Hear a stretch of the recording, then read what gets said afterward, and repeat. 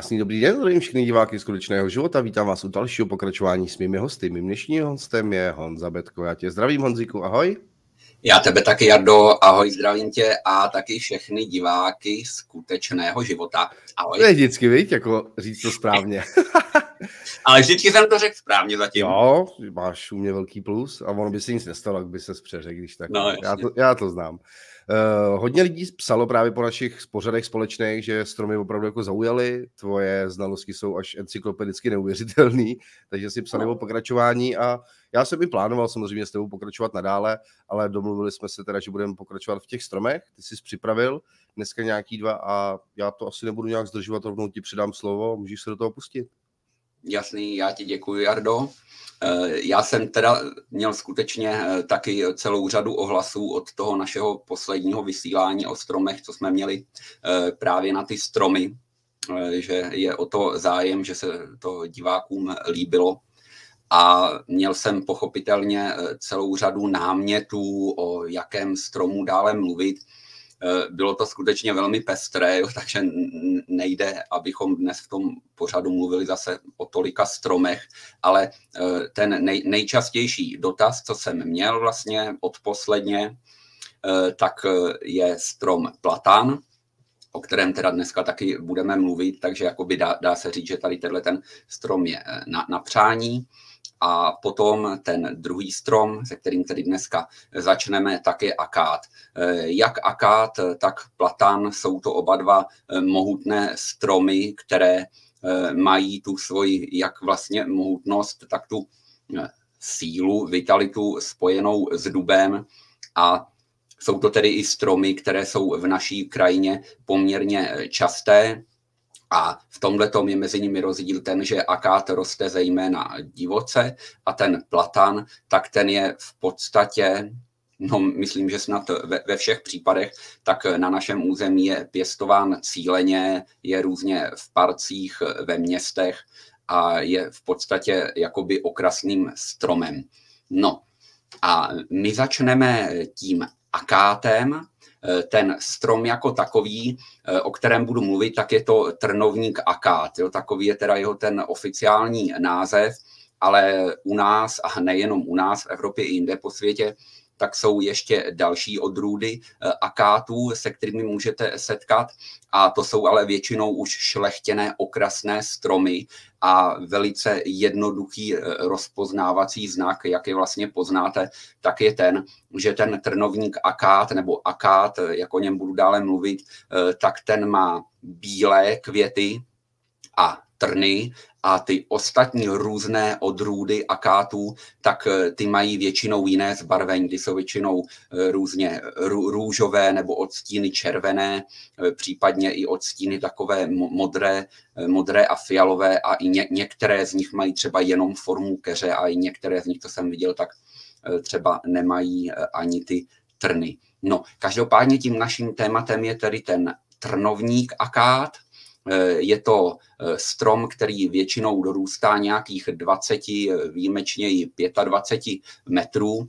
Co se týče jeho kořenového systému, ten je takový trošku zajímavý. Jakoby v podstatě to je něco mezi dubem a bukem, protože on pochopitelně, pokud se už jedná o starší strom, tak ten kořen dělá tak, že on jakoby zapustí jeden hlavní kůl dolů do země, který je většinou právě tak hluboko, jako je ten strom vlastně vysoký do koruny to je tedy že, podobné e, s tím dubem. No ale potom, protože tenhle ten kořen je jakoby většinou jeden nebo je třeba jenom rozdvojený, tak potom všude kolem vlastně e, lezou ty další výhonky z toho kořene, ale tyhle ty výhonky už nejdou vůbec do té hloubky a naopak jsou spíše v těch svrchních vrstvách půdy, což má zase společné e, s tím bukem. Tak to je taková zajímavost toho jeho kořenového systému.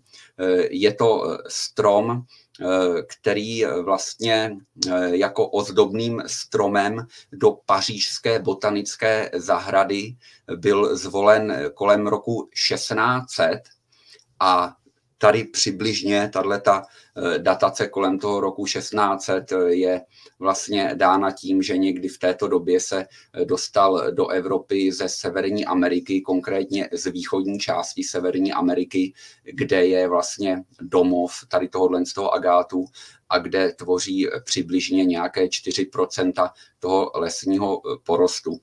Takže u nás v Evropě je přibližně od toho roku 1600, což je tedy eh, doložené a není tady o tom nějakých pochyb, což potom eh, zase je rozdíl s tím platanem, o kterém pak budu mluvit eh, následně. No, ten strom vlastně nejdřív tedy se to začalo šířit tak, že se pěstoval jako okrasný různě po těch zámeckých parcích a vysazovaly se také tenkrát aleje. U nás máme taky jednu zajímavou, o které budu mluvit. Ano, ale protože se to les, lesníkům se kvalita vlastně toho dřeva, vitalita toho stromu zalíbila, tak se potom začal šířit po celé Evropě a cíleně se tedy i vysazoval eh, tenkrát ještě do eh, smíšených lesů, protože to bylo ještě před tou tereziánskou reformou toho lesnictví, eh, kdy se začal všude pěstovat ten smrk a dnes teda vidíme, k čemu to vedlo, ale to, to by bylo na jiné vyprávění. Takže eh, u nás v České republice, ale samozřejmě i na Slovensku se dneska s tím akátem setkáváme eh, nejčastěji běžně v přírodě a v těch parcích zámeckých, tak ho tam vidíme už jenom výjimečně. Co se týče délky života, tak tady tedy na rozdíl od toho dubu nebo třeba i od toho eh, platanu eh, je kratší o něco, eh, přibližně se dožívají v ideálních podmínkách těch 300 300-400 let. To jeho dřevo, jak už jsem říkal, tak eh, ti lesníci si ho oblíbili čistě z těch lesnických důvodů a to je ta jeho kvalita a je to tady hlavně eh, tvrdost. To jeho dřevo je tvrdé a těžké a tohle je i to, co má zase společné eh, společné s tím dubem, i když jako tak tvrdé a těžké jako dub není, ale je opravdu výrazně těžké i tvrdé, takže se používá i na různé kolařské práce, eh, pro stavební účely eh, se hodí eh, jenom to už starší, starší dřevo a vyzrálejší. To akátové dřevo také dobře hoří, takže se používá i jako palivo. Zajímavé je, že ten akát je určitým způsobem propojen v podstatě s vinou révou, můžeme říci a to hned ze dvou důvodů. Jednak, že ve vinohradnictví se používá už delší dobu, samozřejmě ne všude, ale v jednu chvíli to bylo opravdu velmi rozšířené. U nás samozřejmě na Moravě, kdy se ty akátové větve používaly jako kůly pro vázání, pro vázání vína a eh, je to dáno tou, nejenom tou tvrdostí eh, toho dřeva, která tady je velká, ale právě i tím, že eh, on má specifické, specifické složení, má specifické látky, ten akát, a díky ním to jeho dřevo má vysokou odolnost, takže je v podstatě velmi odolné vůči různým, různým plísním. Takže v těch vinohradech ty kůly z agátu vydržejí vždycky velmi dlouho, takže se to skutečně vyplatí. Díky tomu, že to jeho dřevo a vůbec to, jak si on roste, tak je poměrně jakoby takové křivolaké, eh, tak už co se týče eh, třeba toho truhlářství, eh, není v podstatě téměř využíván protože na tohle se to jeho dřevo prostě nehodí. Ten strom jako takový tak je velice nenáročný a je to z tohohle z toho důvodu i ideální strom, který se může vysazovat na neplodných půdách. Jo. V podstatě tam, kde nic neroste, tak eh, nejdřív eh, se tam uchytí bříza a potom akát. No, to má zase ten akát společného s tou břízou, že jako opravdu eh, vyroste i na neplodných půdách, ale zároveň vlastně on tu neplodnou půdu, nebo i samozřejmě jakoukoliv jinou, tak chrání proti erozi. To je zase dáno tím jeho úplně specifickým kořenem, kde je ta kombinace toho dubu a buku, kdy on se jednak velice silně ukotví a to trvá v průběhu desítek let, jo, to třeba není v prvních pěti letech eh, růstu nebo deseti letech života toho stromu. Takže se velice eh, silně ukotví dolů do země a potom se začne rozprostírat všude kolem pod povrchem. No a to logicky udržuje vlastně tu půdu, takže to je velice v tomto smyslu, tedy ochraně proti erozi, tak je to vlastně ten nejúčinnější eh, strom, jakoby taková nevýhoda, nebo nevýhoda, no je to jeho vlastnost, eh, tak je ta, že ten akát se nesnese eh, s většinou Eh, ostatních stromů a rostlin. A tady tohle je dáno už jeho specifickou funkcí a to je ta, že on vlastně to na té energetické úrovni, tak akát čistí prostředí od negativních energií. Tady na tohle vlastně on používá ty svoje trny a právě skrze trny on absorbuje tu negativní energii a je to tedy velmi účinný strom, který harmonizuje, ale konkrétně přímo čistí svoje prostředí od negativních energií. No a protože všechny tady tyhle ty věci, které se dějí na té jemnohmotné, očím neviditelné úrovni, se vždycky nějakým způsobem manifestují i na té hmotné úrovni, tak u toho akátu to je na té hmotné úrovni tak, že eh, ty eh, nahromaděné, tu nahromaděnou negativní energii eh, zpracovává na nějaké specifické látky, které potom vylučuje dolů do země. No a tím pádem tedy tady tyhle ty látky, které jsou pochopitelně negativní, jedovaté, tedy odborně, jsou jedovaté pro řadu rostlin ovšem ne, ne pro všechny.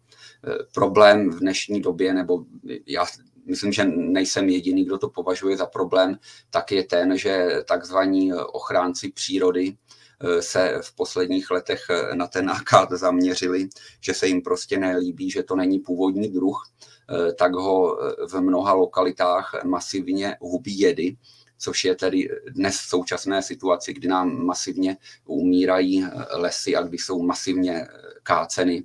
Je to něco naprosto šíleného, takže můžeme jenom doufat, že eh, značná část populace se brzy probudí a tady tyhle ty věci se přestanou dít, protože jak si následně povíme, tak ten akát je skutečně nesmírně, eh, nesmírně cený strom pro nás, který nám tady pomáhá.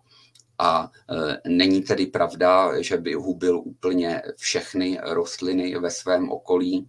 Je to stejné jako s jinými stromy, jako třeba v případ těch smrků nebo dubů, buků, bříz, které e, si pochopitelně utvářejí to své prostředí e, kolem sebe, do kterého se nechce každé rostlině, nebo naopak se chce jenom některým rostlinám. Tohle je úplně stejné. Ten rozdíl je jenom v tom, že k tomu akátu tolik rostlin nechce. Ale jedna, která k něm chce, která má akát jako vyloženě ráda, tak to je třeba líska. Často si všimněte, když půjdete do lesa někde a uvidíte tam zrovna akáty, tak když se rozhlídnete kolem a těch agátů je tam třeba víc, tak určitě tam někde lísku najdete. Eh, ty je mají velice rády, to je jako velice dobrý takový souputník těch akátů. No a hned tím druhým souputníkem po lísce, tak to je bezinka, o které jsme tady už v jednom pořadu s Jardou mluvili, která je vlastně jedním z těch, z těch našich Eh, vůbec eh, nejcennějších, nejléčivějších stromů nebo keřů, protože bezinka jak, jak, jak může být může mít formu stromu, tak eh, formu keře a právě ta bezinka ten akát ráda doprovází a taktéž, když je někde třeba i menší akátový lesík, akátový porost, tak tu bezinku tam najdete hned vedle nich. My teďka s chodou okolností Eh, jsme natáčeli pořad pro vědomou turistiku, eh, kde jsme byli v místě, kde právě rostou mohutné akáty a u nich tam jsou bezinky. Takže skutečně eh, ne, není to tak, že ten akát by byl nějaký démonický strom, který kolem sebe nesnese vůbec nic. Je tomu vlastně naopak, protože jak ta bezinka, jo, tak ta líska jsou stromy, které nám jsou velmi eh, prospěšné. No, eh, zajímavá věc je tady, eh, co se týče těch léčivých účinků u agátu, zase vzhledem tedy k těm nařízením zákonům Evropské unie, tady tímto sdělují, že ty informace o jeho léčivých účincích jsou čistě hypotetické, eh, ovšem eh, můžete si je eh, dohledat ještě i stále na internetu. Dneska je to opravdu šílená doba v tomto smyslu, když člověk opravdu potřebuje nějaké takovéhle informace si dohledat obecně i teda o bylinkách, protože stále se tady ještě dají najít weby, kde jsou psané ty léčivé účinky těch konkrétních rostlin a oproti tomu už ty nové weby nebo weby, které se tedy přizpůsobily těm eh, nařízením ne, nesmyslným, eh, tak už uvádějí, že, že, že to tak není. Jo. Takže u toho, u toho agátu eh, je to tak, že vlastně část stromu je jedovatá, a část léčivá.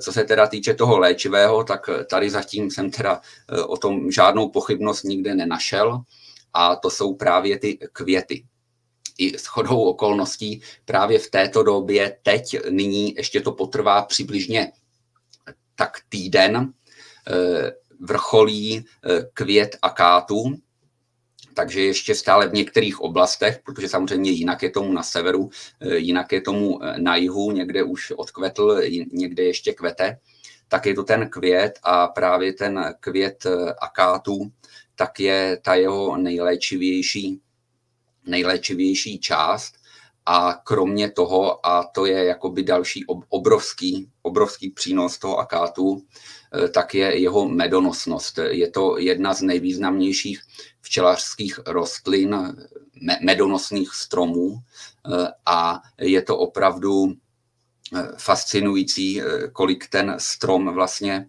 pochopitelně pomocí včelek, respektive kolik včelky dokážou produkovat eh, medu z jednoho dospělého agátu.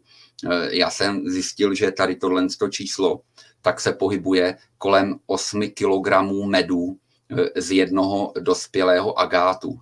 To je úplně, to je, to je fascinující a zase tady tohle je věc, kterou má ten akát eh, společnou s lípou. A eh, ten eh, akátový med, co se stromů, teda co se stromů týče, tak je hned i tím druhým nejoblíbenějším nebo i nejsilnějším, nejléčivějším právě hned potom medu lipovém. A i včelaři si to samozřejmě pochvalují, protože eh, včelkám obecně tady tohle to prospívá. Jo? Ne, nejenom lidem, není to jenom ten výsledný produkt, že jo, ten med, ale je to už i ten pil, kdy ta včelka si ho bere, tak samozřejmě eh, na, na tu včelku tady tohle to nějakým způsobem uh, působí.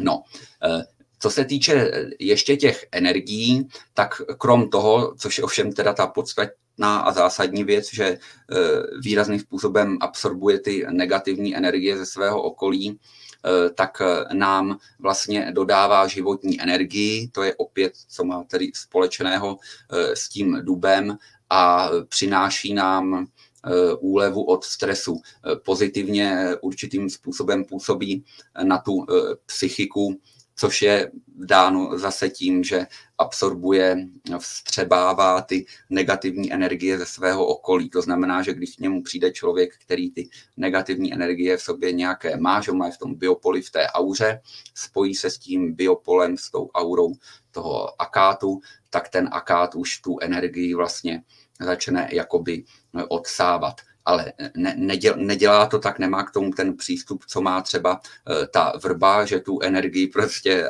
absorbuje pořád, ale on absorbuje opravdu pouze tu negativní a eh, pak už se jakoby, to, jakoby ta fáze odčerpávání eh, zastaví, když vás dostatečně vyčistí a začne vám zase potom posílat tu životní energii, tak jak to třeba dělá ten dub.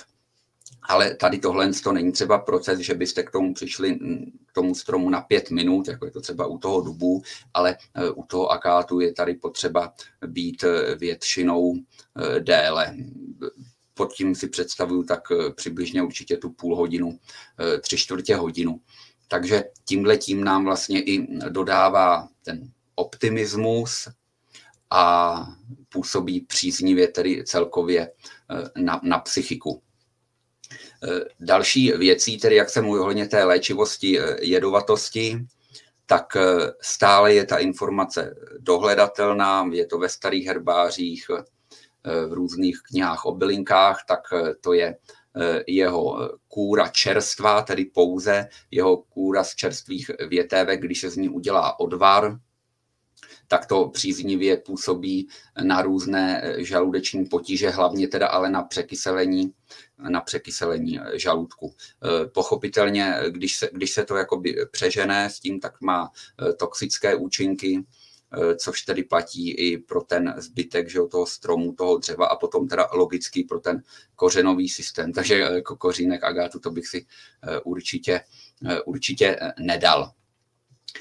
Květy toho agátu, kromě toho tedy, že je mají rádi včelky a dělá se toho skvělý med, Eh, tak eh, má výrazné, výrazné aroma, což ještě tedy teď můžete někde eh, cítit v těch akátových lesích nebo na místě, kde akát roste, protože ta vůně je opravdu nádherná a je velice intenzivní. Je to dáno tím, že to květenství akátu je v hroznech. Jo, většinou, když, už, když je to statný strom, tak to květenství může mít i nějakých 20 cm a ta vůně je eh, potom skutečně intenzivní.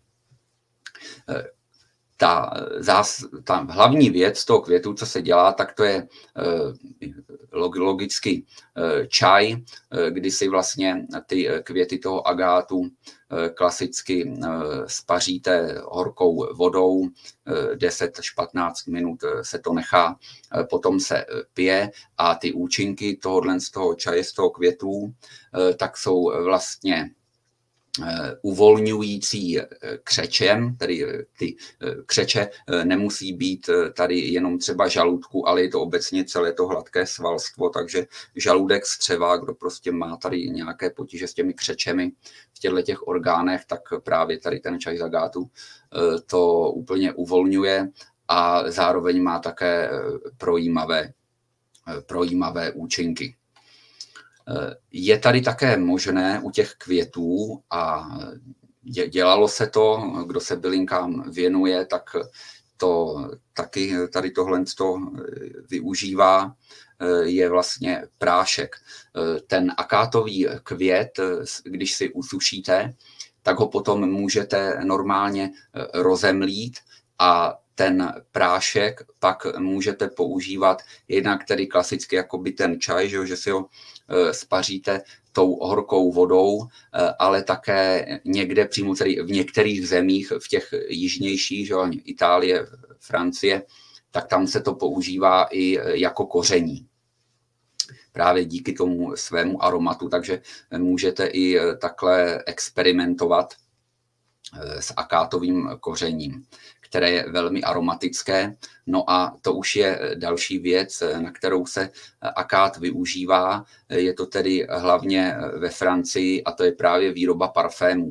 Ten akát je jedním z nejvýznamnějších stromů, teď nemluvím o květinách nebo o rostlinách, o keřích, ale o, o stromech, tak je to jedním z nejvýznamnějších stromů, které se vlastně používají v parfumérii a v té Francii, tak si buď, buď, buďte si jistí tím, že minimálně polovina všech francouzských parfémů, včetně samozřejmě těch nejdražších značek, eh, tak v sobě obsahuje eh, ty esenciální oleje, tedy vůně a kátu. Eh, ve Francii se také sázejí udržují Eh, akátové eh, lesy, eh, které jsou ale přímo určeny pro potřebu parfémů, takže je mají ty staré francouzské parfumérie, jsou ty největší značky, tak každá z nich má někde nějaký ten akátový porost, který takhle využívá. Tedy pokud rádi experimentujete a děláte si třeba eh, vlastní směsi parfémů z esenciálních olejů, tak určitě můžu doporučit ten akát. Uvidíte, že se třeba potom i přiblížíte k nějaké francouzské značce, protože je to velmi pravděpodobné. Takže tohle je úplně jakoby další rozměr toho agátu, kde u stromu je tohle opravdu se s tím setkáváme eh, zřídka kdy. Eh, další věcí je, že akát eh, díky těm svým větvím, díky jakoby tomu, jak se, tak, jak se kroutí, eh, tak tohle to sice se nehodí truhlářům, ale zase to má rádo naše, a ne, nejenom naše ptactvo, takže agát je jedním z nejhojnějších stromů, na kterém hnízdí celá řada opravdu celá řada eh, druhů ptactva. Pro ně je tady tohle eh, ideální. A je to samozřejmě i z důvodu, že ten strom se dožívá eh, vysokého věku, takže i ti ptáci, co rádi dlouhodobě sídlí na jednom místě, tak těm se to taky líbí, ale další rozměr zase toho, že ho mají ptáci rádi, není jenom kvůli těm větvím, jak se tam dávají hnízdo dovnitř, ale taky, že ty datlovití ptáci pochopitelně je mají rádi a je to zase i dáno tím, že jak obsahuje ty látky, které zabraňují eh, těm plísním a zkrátka hnilobě, tak logicky, že jo, ten ptáček, když si tam to hnízdo udělá, ten datel, strakapout, tak eh, se nemusí obávat, že eh, za dva roky se mu tam eh, objeví nějaká plíseň, což je jako taky úplně skvělé a je tedy velká škoda, že dnešní určitá skupina lidí, která se říká ochránci přírody, tady tyhle ty stromy hubí, jo, což je skutečně absurdní a je to teda věc, která je k pláči. No, ty čaje eh, z toho akátového květu tak mají také sedativní účinky a obecně i prospívají trávení. To znamená, že nejenom když máte nějaké eh, akutní potíže, jako jsou žaludeční křeče, no, křeče ve střevech, eh, tak i tak to má pozitivní účinky. Ten klasický čaj, jestli chcete postup, tak se dělá velice jednoduše a to tak, že vezmete hrst těch usušených květů a kátů a zalijete ji těmi 250 ml vařící vody a těch 10 až 15 minut necháte louhovat a pak to scedíte. A e, ten čaj se nejenom tedy eh, má pít teplý, ale eh, je možné ho pít ve všech eh, stádiích, tedy jak vlažený, tak ho můžete potom vypít i studený a stále to ale účinkuje tady tyhle, ty, tady tyhle ty látky. No a nebo potom můžete používat i vyloženě ten prášek, když si ho dáte do formy prášku. Vlastně to, že ta chuť eh, akátového čaje velmi lahodná, tak to nemusím podotýkat, protože je to část vlastně toho stromu, která se používá přímo v parfumerii. Ale jako není to zase extrémní a aby to tak zase nevypadalo, že pro tu šílenou aromatickost se to nedá ani pozřít, toto ne, to vůbec. Ta jeho vůně i to aroma, tak je to velmi, velmi příjemné. No, co se týče tedy obecně té kůry, údajně se tedy dnes tvrdí, že je jedovatá, Eh, tak to se používalo tedy kdysi v lidovém léčitelství vyloženě pouze eh, jako eh, projímadlo. Agát jako takový, tak se dnes používá i v homeopatii a v té homeopatii je to opět vlastně na ten žaludek střeva a tady zkrátka na, na tyhle ty věci vlastně. Z pohledu čaker nám tedy eh, akát konkrétně pomáhá eh, s těmi, s některými orgány, které jsou napojeny na eh, druhou a na třetí čakru. Tak, vlastně u toho akátu jsem říkal něco o tom vínu, a to je právě to, že v dnešní době je to pět, možná deset let, ale to si myslím, že ani nebude eh, zpátky, tak eh, vlastně s akátovým dřevem začali experimentovat moravští vinaři. A dnes už to tedy není jenom ve stádiu experimentu. Dnes už se používá to akátové dřevo na výrobu vinných sudů, takže tak, jak se dřív tady používal jenom ten dub, ty dubové sody na víno, tak dnes už některá vinařství eh, začínají používat i eh, akátové sudy, eh, ve velkém, a co se týče teda vůbec těch největších vinařství, tak to dělá z Novín, ze Znojma, který navíc ještě to má velice vtipne, vtipně, ale i osvětově vlastně udělané, že oni prodávají, eh, myslím, že eh, dva druhy červeného vína, úplně vše, všechno je totužné od, odrůda ročník a jedno víno mají uvedené, že to zrálo v tom dubovém sudu a to druhé víno mají uvedené, že eh, zrálo v tom akátovém sudu, takže i to může člověk takhle hezky porovnat Samozřejmě, jak říkám, osvědčilo se to, začínají to používat i další vinaři a je to zase dáno těmi vlastnostmi toho akátu, které jsou jak na té jemnohmotné úrovni, tak na té hrubohmotné.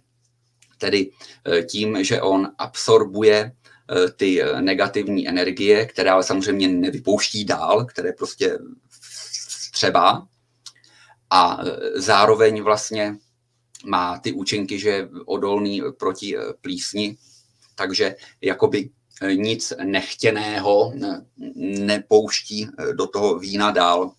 Takže pro tohle to je skutečně ideální. Když se podíváme do dějin, tak u toho akátu to je jako taky velice pestré a zajímavé. On byl jedním z nejvýznamnějších stromů starého Egypta. Ještě spolu s Tamariškem, eh, tak to byl eh, strom boha Osira, a ta původní Osiridová posvátná pohřební bárka byla vyrobena právě z toho akátového dřeva.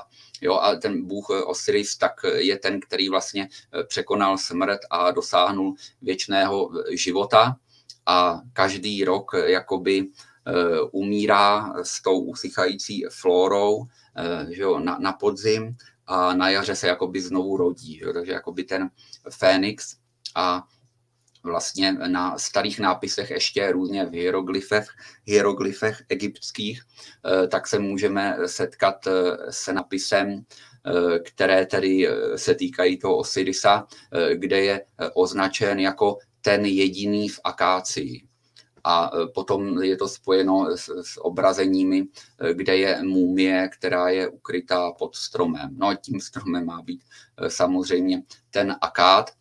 A ten akát ale nebyl jenom takhle vážený ve starém Egyptě, ale i v té judokřesťanské kultuře, kde zase akát symbolizuje nesmrtelnost, strom nesmrtelnosti a je to právě ten strom, z jehož dřeva byla vyrobena archa úmluvy.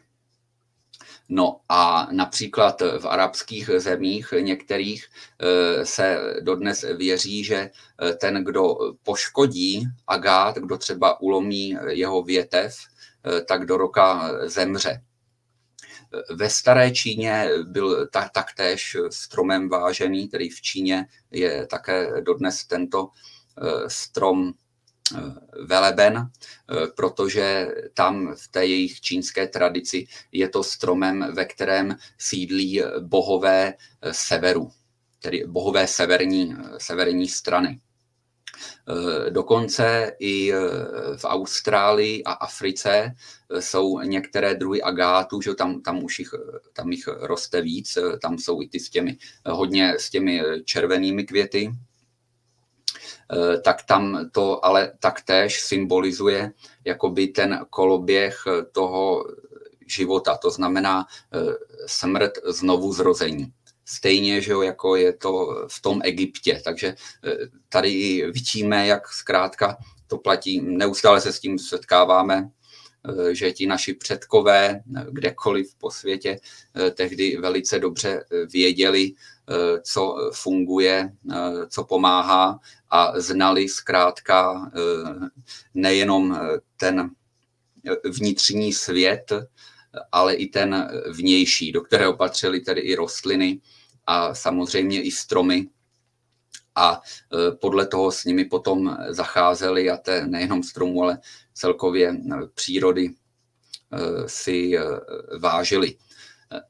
Ještě je zajímavé to, že jsem zjistil, což jsem tedy předtím nevěděl, že se agátové dřevo používalo v minulosti také ke stavbě člunů a lodí. Což teda ale zase ostatně to dává smysl a souvisí to s tím, eh, že v té eh, křesťanské tradici tak právě z agátu byla vyrobená i ta archa úmluvy a i z vlastností eh, tady tohohle z toho dřeva.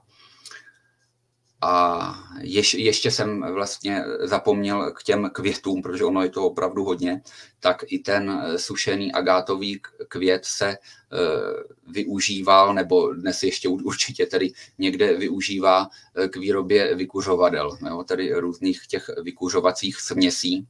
Takže i tady vlastně s tím letím můžete e, sami experimentovat.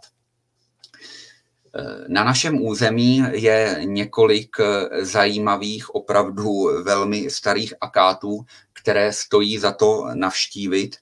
A jedním z nich, který tedy uvádím na prvním místě, tak je Kasejovický akát. Je to akát v Kasejovicích. Kasejovice, ty jsou vlastně když jedete z Blatné do Nepomuku, ale už je to plzeňský kraj, už to nejsou jižní Čechy a je to vlastně hned vedle Kasejovic, tak jsou eh, lnáře. Eh, v těch Kasejovicích eh, vlastně ten agát se uvádí, že to jeho stáří je kolem 260 let. A tam je klidně možné, že, že to může být i do 300 let.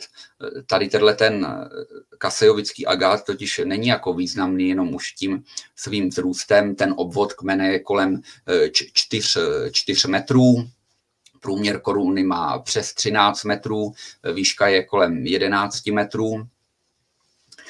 A eh, o ten strom je příkladně staráno, je dneska, co, co jsem viděl, ty nějaké aktuální fotky, tak je stažený obručí.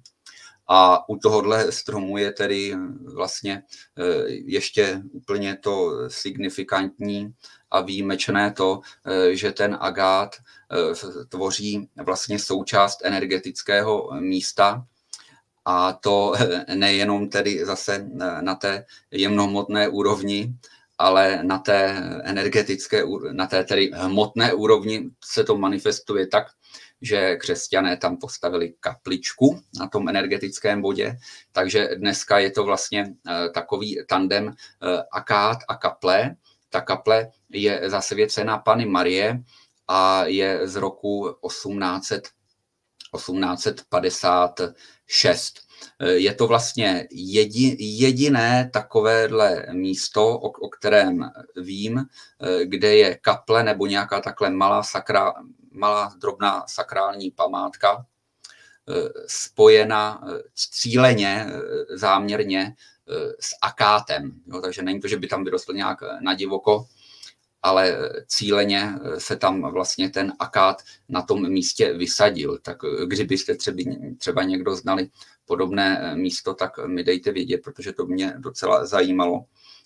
Tímhle tím je to skutečně velice významné, ale to, to je i ten celý tady region toho Kasejovicka, protože v tom prostoru kolem Kasejovic, právě tam jsou i, i ty lnáře, ty jsou kousek vedle, tak se jedná o nesmírně silný energetický prostor, kde, respektive kde je eh, celá řada energetických míst eh, starých slovanských, praslovanských, keltských, tam zřejmě někde i germánských svatyň. Eh, kousek je například místo, které mu říkají nějak, teď nevím, co, ďáblovo, ďáblovi nebo čertovi kameny, jak je oblíbené, nebo nějaký takovýhle hanlivý název po Čertovi to má, to byla, to byla ohromná, skutečně velká, jo, Čertův hrad, myslím to je, Čertův hrad, to byla obrovská slovanská svatyně, a podobných míst je tady v tomto okruhu Kasejovic spousta a právě ten bod, kde je ten Kasejovický agát i s tou kapličkou samozřejmě, tak je to jedna z těch místních křižovatek siločar, tedy těch ley lines, těch energetických líní, které tam spojují různé ty sakrální prostory. Takže tohle je skutečně nesmírně zajímavé místo a je to i, myslím, jeden z dobrých eh, výletních eh, cílů teď na léto, protože nejenom tedy ten akát v těch Kasejovicích, který už sám za to s tou kapličkou stojí eh, za zhlédnutí, ale i v tom nejbližší okolí máte opravdu řadu zajímavých věcí, včetně tedy třeba toho zámku Lnáře se zámeckým parkem, což je skutečně nádherné místo. No tak tady toto jsme byli v Čechách a na Moravě eh, tam je zase eh, akát eh, v Ivanovicích na Hané a jak jsem zjistil, netvrdím, že jsem prohledal všechny akáty, co tady v České republice jsou, že jsem tady viděl všechno, ale zabýval jsem se tím teda poměrně dostatečně, obecně teda i akát mám rád, už jako delší dobu se tomu stromu nějak věnuji a skutečně jsem tedy zjistil, že dnes je ten Ivanovický akát, tedy akát v Ivanovicích eh, na Hané, eh, nejstarším akátem na území České republiky. Eh, obvod jeho kmene je dnes přes pět metrů, možná to bude tak k pěti a půl metrům, výška ta je necelých 14 metrů, a e, tady tenhle ten e, strom je tedy e, starý prokazatelně kolem 350 let, jo, co už je tedy opravdu slušné stáří. A když si o něm budete hledat informace, tak vám tam právě hned vyskočí, že se jedná o nejstarší akát Moravy, ale já jsem prohledal i, co, co, se, co se dalo zkrátka a nenašel jsem, že by na území Čech byl nějaký starší agát, takže za mě je to tedy nejenom nejstarší agát Moravy, ale vůbec nejstarší agát České republiky, který tam byl vysazen eh, někdy kolem roku 1663 a to bylo zase, bylo to eh, na místě, kde byl tenkrát nově zřízen hřbitov. Jo, takže zase, že hřbitov obecně místo s těžkými energiemi. A ten akát se tam vysadil, aby to místo harmonizoval což se tady děje do dneška a tady i vidíte, že tomuhle tomu stromu zkrátka i tady tyhle ty eh, těžké energie eh, vyhovují. Obecně tedy eh, je ten strom i velmi odolný na různé znečištění přírody a tak podobně.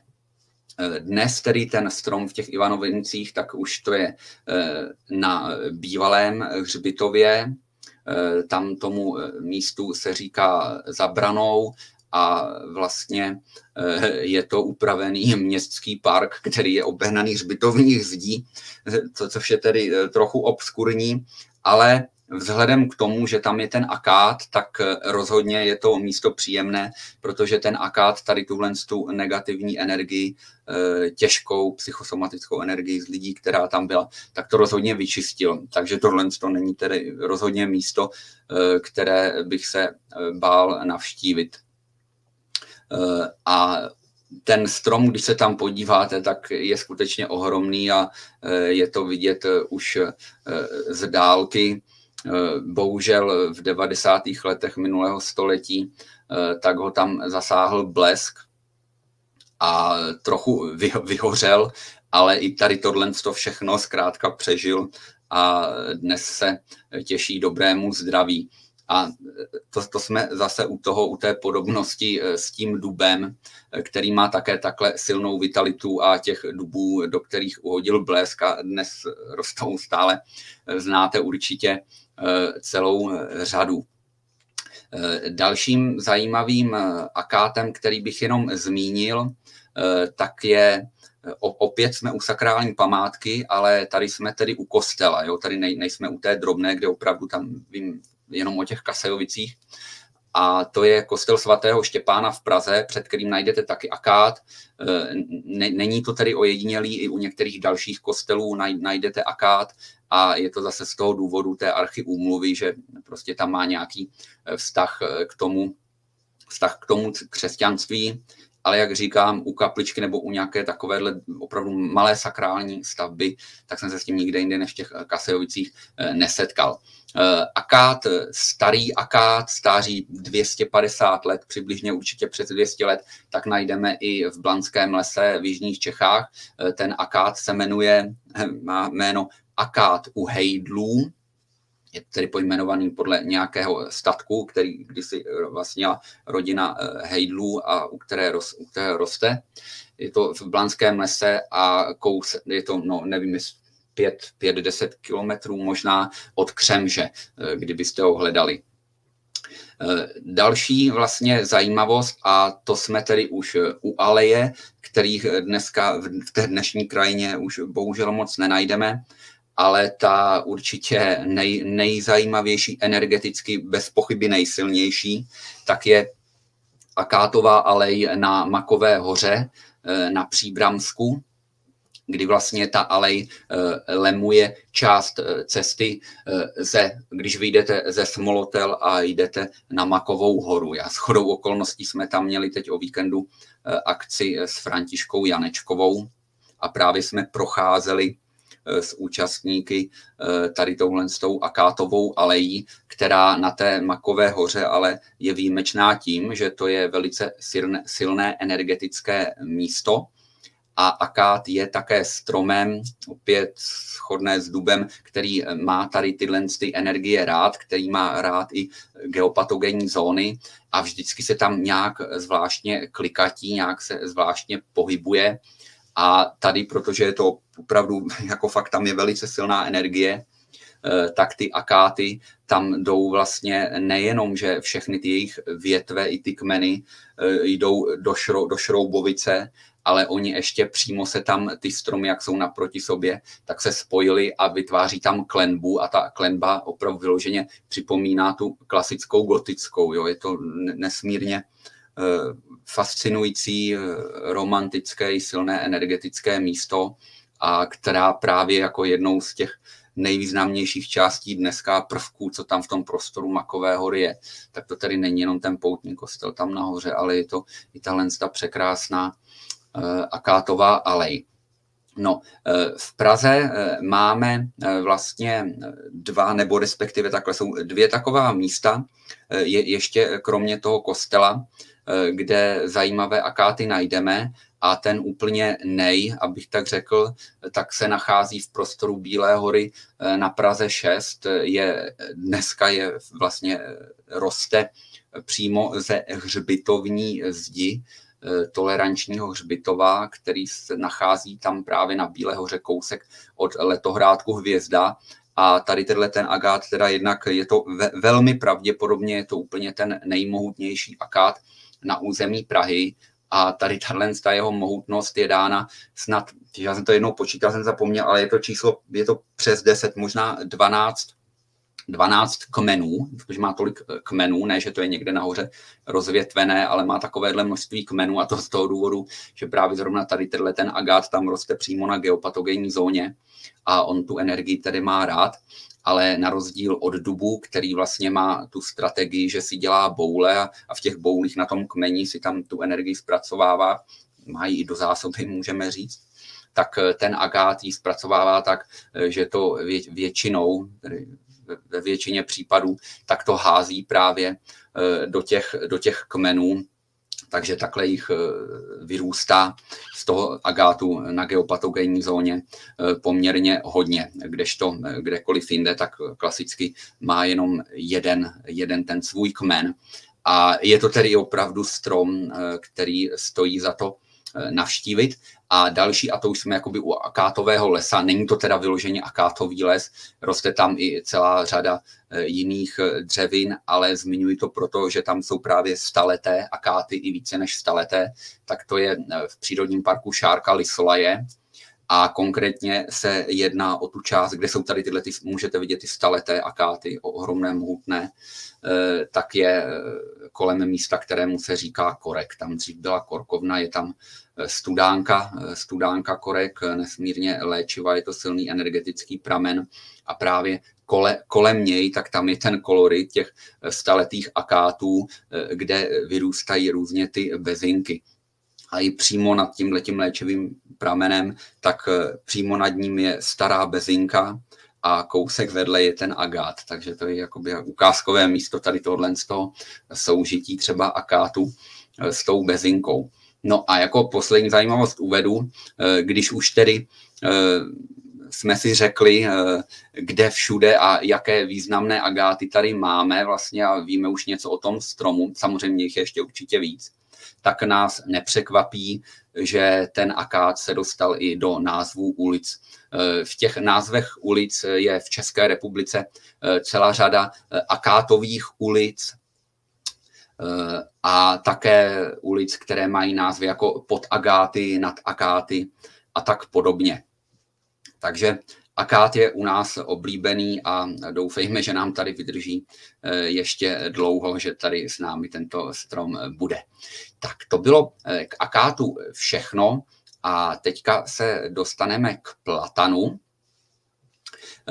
Platan to je skutečně už velmi mohutný strom. Je to jeden z těch nejmohutnějších. Společně eh, s dubem, ale i tedy s některými lípami tisíciletými, tak se je, opravdu jedná o ty nejmohutnější stromy, co tady na území Evropy rostou. On je nejzajímavější tím hned, když se na něj podíváte, tak je to právě ta, ta jeho barva a, a, a ta kůra, jo, i ta struktura kůry, která je vlastně na dotyk jako taková sametová, je Eh, nesmírně eh, příjemná a eh, má právě několik různých zbarvení, které se tam liší tou, tě, těmi vrstvami a on je právě průběžně, jakoby je odhazuje, pořád se takhle loupe a to vytváří tu tradi, tradiční krásnou barevnou strukturu barevnou strukturu toho stromu a společně i s tou svojí mohutností, eh, tak je právě oblíbeným eh, stromem, který je vysazován v parcích, eh, v zahradách, v městských zástavbách. To je rozdíl třeba oproti vlastně nejenom tomu dubu, ale oproti všem stromům, o kterým jsme se tu bavili v pořadech, protože ten platan vlastně nenajdete Eh, až na výjimky volně v přírodě. Ten se skutečně vysazuje jenom v těch eh, parcích, městských zástavbách a zkrátka někde cíleně jako okrasný strom. Takže když na ně někde třeba narazíte eh, v lese, tak to skutečně tam si zanesla sama příroda, ale zatím tedy se s ním Eh, nesetkáváme nikde v lesích, protože mu to společenství těch ostatních stromů tolik eh, nevyhovuje, nebo ne tolik, teda spíš vůbec mu nevyhovuje. Je to jakoby solitérní strom, eh, který vlastně potřebuje hodně prostoru. celá řada nejenom evropských metropolí, tak je těmi platany vyzdobená. Eh, těch platanů je několik druhů a tady v Evropě tak se bavíme hlavně o platanu eh, javorolistém, který javorolistý, tak se mu říká z toho důvodu, že ty jeho eh, listy jsou podobné javoru, ovšem jsou mnohem, mnohem mohutnější. Takže když se řekne platán, tak tady dneska nejenom v České republice, ale jakoby obecně rozhodně ve, ve střední Evropě, eh, tak vždycky se myslí právě ten platan eh, javorolistý. Eh, začalo se s ním tedy údaj údajně, to, to je jedna z teorií, která jako taky není úplně potvrzená a taky bych jí tolik nevěřil, že ten platan javorolistý byl vlastně vzniknul křížením v Anglii mezi lety 1680 až 1700. Ale je, je zde hned druhá teorie, že vzniknul křížením jakoby samovolným, nebo zkrátka, že sám se nějak takhle vykultivoval z těch jiných druhů platanů někdy v pravěku v třetí horách. Jo, tak a teda vzhledem k věcem, jako je třeba Darwinova teorie, že jo, která také vzešla z Anglie, tak bych úplně tady těm angličanům v tomhle, tom, v tomhle tom nevěřil. Ale každopádně je to eh, věc, tedy, která se také uvádí a potom eh, to má taky souvislost s tím, že právě většinou, nebo je, je to dokládáno po Evropě až eh, od roku 1700, ta eh, výsadba těch, těch platanů javorolistých. Vlastně tady tenhle ten platan je, co se týče těch zemí, tak v té Anglii, tam, o tam je známa jenom ta teorie, vyloženě není jakoby uváděno tolik významných platanů z Anglie eh, jako z Francie. Eh, v té Francii je platan nesmírně eh, oblíben, někde se i píše nebo někdo udává u některých Franco, pro francouze to je, že ten platan je, platan javorolistý, tak je uváděn jako je jeden z hlavních symbolů Francie, že řekne, se řekne Francie, tak si prostě někdo představí platan. No a v Paříži, tak eh, tam jich je ohromné množství. Paříž jako taková, tak nevím tedy, jestli ještě dneska v této době, každopádně dlouho, dlouhodobě byla Paříž městem, kde byla úplně největší koncentrace těch eh, platanů.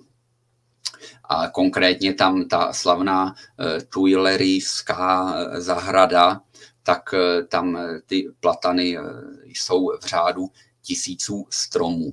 Takže tam je jako opravdu eh, velice, eh, velice oblíbený. Eh, ten platan je také zajímavý tím, že má takové rostomilé plody. On většinou, když kvete, tak to je tak nenápadné, že to ani nepoznáte. Ty květy jsou kulaté a potom postupně, jakoby, když už se ten květ mění v ten plod, tak z, té, z toho květenství kulatého tak eh, začnou eh, rašit eh, jakoby bodlinky a potom je z toho takový ježek kulatý a to už je potom ten vlastní plod, ta pichlavá kulička toho platanu, která když potom uzraje, tak má v podstatě ten plod svůj jako takový oříšek platanu.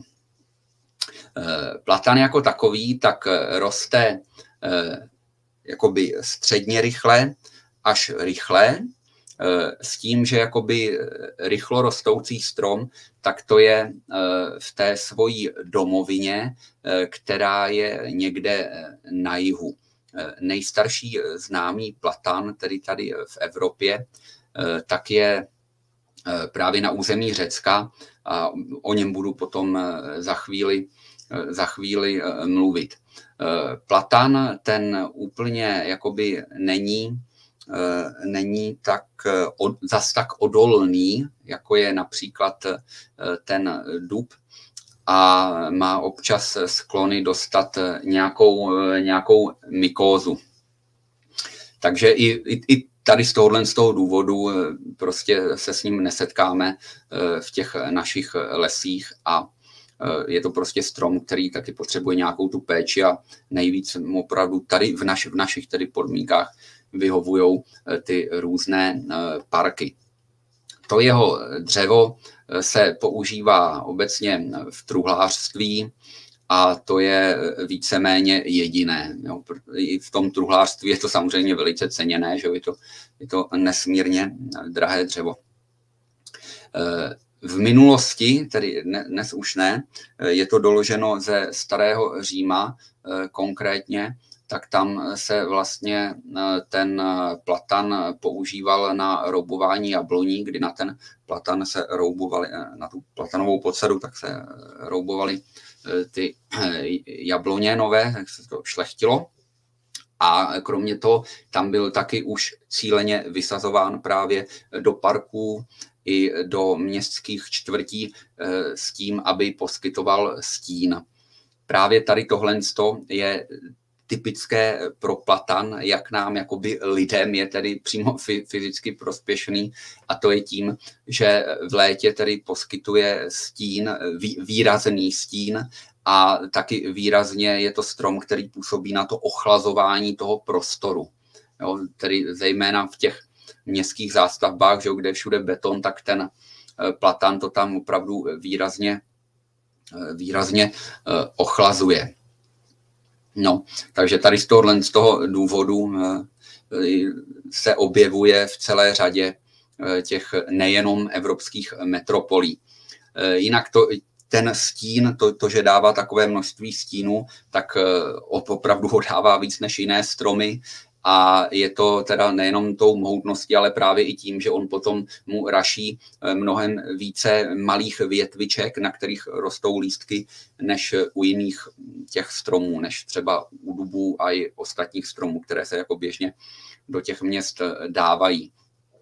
Eh, ten strom samozřejmě, platan, se užívá v léčitelství nebo užíval tady obecně Eh, vlastně to eh, jeho nejrozšířenější užití, tedy i jinde po světě, eh, co jsem zjistil nejenom tady v našich podmínkách, tak bylo na bolest zubů a vlastně se používá tak, že se udělá z kůry odvar v octě a ten odvar potom se dá do úst, čo nalijeme si ho do úst a e, po nějaké době to začne skutečně mírnit tu bolest zubů, že jo? protože je to zase ráno tím, že v tom octě během toho vaření se tam z té kůry dostanou e, do toho octa nějaké ty látky, které nám potom zkrátka příznivě působí na to potlačení bolesti zubů. No a další zajímavá věc v lidovém léčitelství, kde se používá,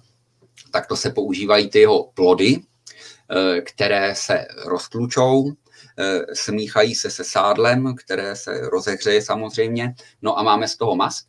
A tady tahle ta mast, tak ta je nesmírně účinná eh, na, na popáleniny. Dneska právě ona víc tady se v, v našich podmínkách, tedy na ty popálení užívá ta bříza, že jo, kde to je jednodušší vlastně s těmi lístky si je natrhat, že ten platan tady tak dostupný není, takže tady u nás se to dělalo jenom minimálně a tady tuhle tu eh, meducínu eh, používali jenom šlechtici, protože jinde, že běžený člověk se právě s tím platanem tady u nás nesehnal, ale právě tam v těch zemích jižnějších, kde roste běžně, tak tam se používala na ty popáleniny. Hlavně tady tahle jeho mast. Taktéž Platán byl uctíván ve starém Egyptě a tam vlastně byl považován eh, jakoby za strom, který eh, nás jako lidi propojoval eh, s duchovním světem. Jo. Takže se dá říct, že to byl strom, který nám přinášel poznání a tady z tohohle z toho důvodu, jakoby to, jeho duchovní aury, tak to byl také strom, pod kterým se věštilo a e, bylo to něco v podstatě e, tak, jako se u nás na, na věštění e, používala ta lípa, jak se věštilo pod lipou, tak se v těch jižních zemích, v Egyptě, té, v té domovině toho platanu, tak tam se v některých kulturách, byla ta egyptská, tak se právě používal vlastně taky k věštění jako takový zesilovač.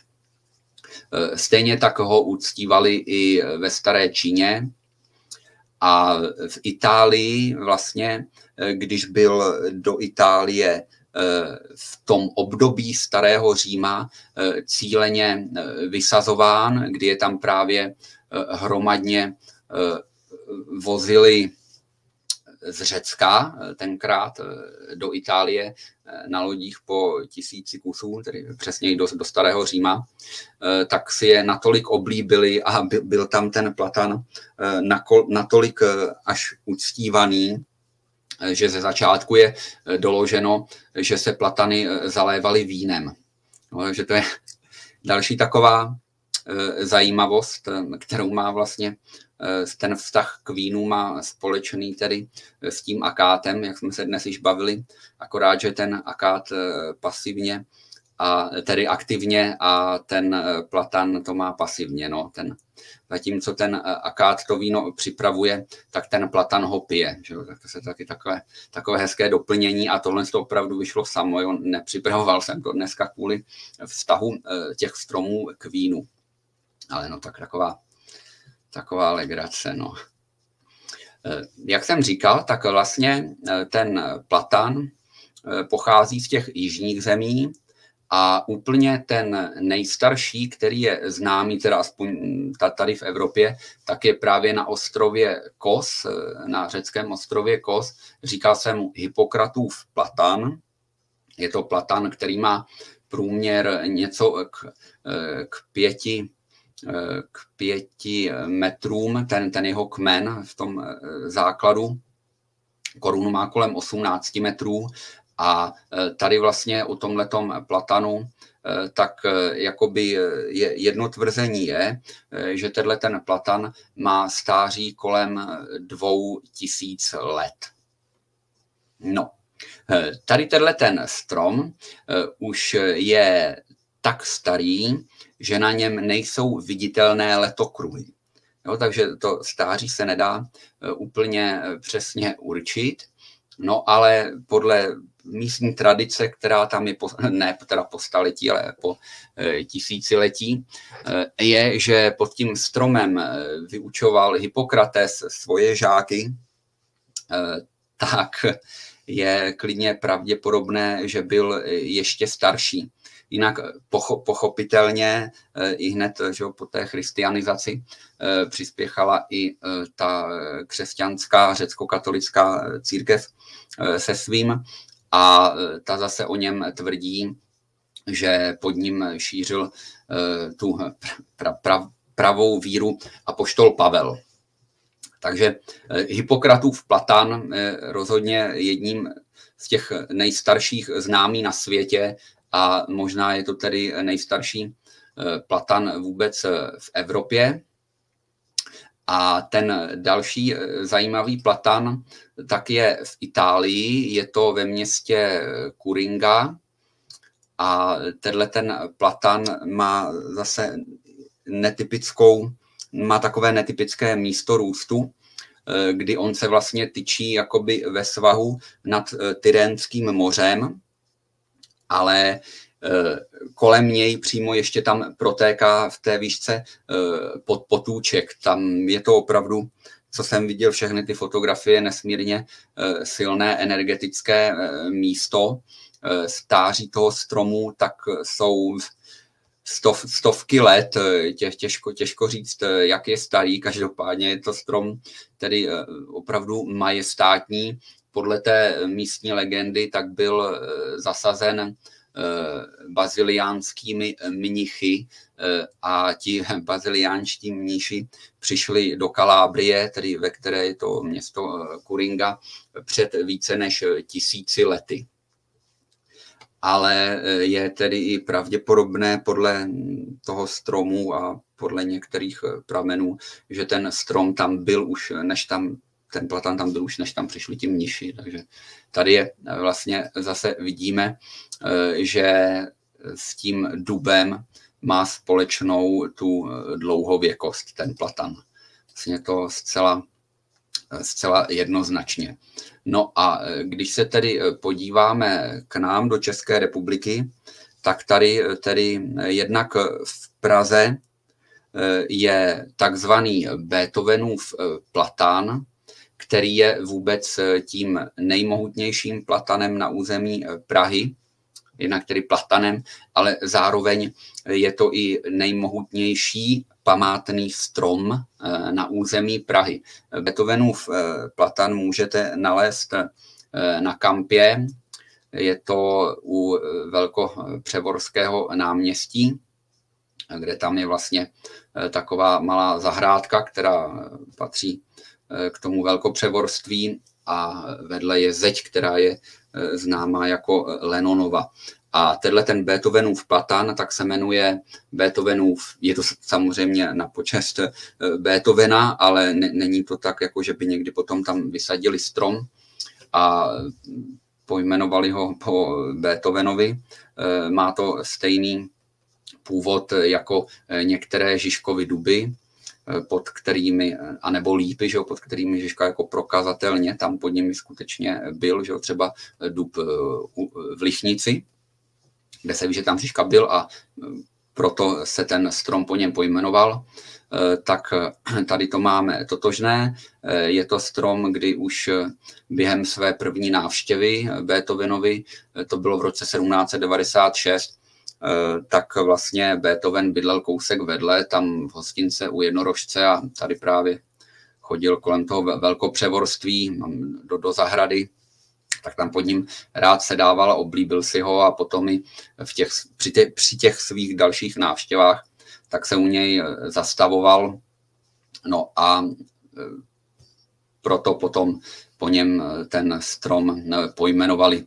Stejně jako třeba že i u Dinsenhofera, eh, Dinsenhoferova lípa v Paštikách, že kdy při stavbě toho kostela, což byl ten vůbec jeden z posledních, které dělal, dával se na tom nesmírně záležet, tak tam taky vždycky při té návštěvě tam sedal pod tou, pod tou lípou a potom ji podle něj pojmenovali. Tak tady to je vlastně s tím Beethovenem, je to skutečně nádherný strom a ještě teda taková zajímavost. Eh, je zde jedna pověst staropražská, eh, podle které ten platan tam byl vysazen už ve 12. století, eh, když se na tom místě právě usadil řád maltéských rytířů.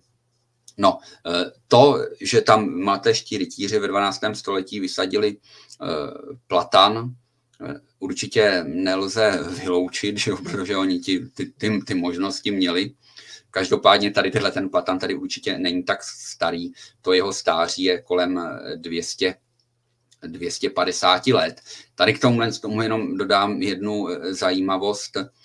V některých zdrojích i tedy které se tváří jakože odborně, eh, jsem našel informaci, eh, že ten strom nemůže být eh, vysazen dříve než někdy před rokem 1804 nebo nějaké takové číslo, což je tedy což není možné, protože tady je doložené, že všichni víme, nebo je, je zaznamenáno, že Beethoven navštívil poprvé Prahu v roce 1796 a v tom roce 1796 už pod tím Platanem odpočíval, takže Platan musí být právě starší, eh, starší než, že byl vysazen v roce 1796.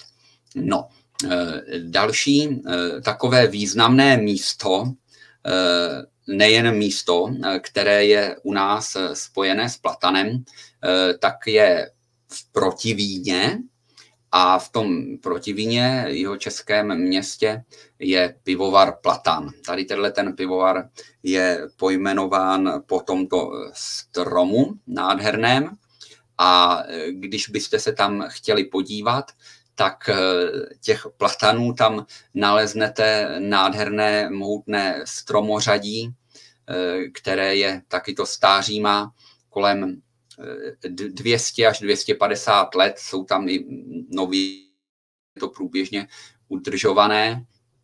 A vlastně eh, ty, ta výsadba těch platanů tam začala někdy musela začít až po roce 1711 a to proto, že v roce 1711 vlastně ten pivovar dostali Schwarzenbergové a o Schwarzenbercích víme, že i tady tenhle ten šlechtický rod si platany na svých panství začal vysazovat.